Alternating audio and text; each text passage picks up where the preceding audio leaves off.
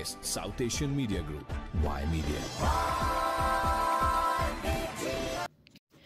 President Joe Biden voiced deep concern about the escalating violence in the Middle East, citing the recent assassination of a top Hamas leader in Iran as detrimental to ceasefire efforts.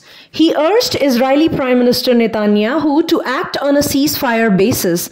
This follows the return of three Americans from Russia in a historic prisoner exchange as violence continues, Gaza struggles with limited access to essentials and regional tensions rise with recent assassinations and retaliatory threats.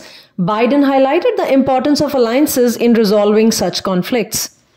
Biggest South Asian media group, Y Media.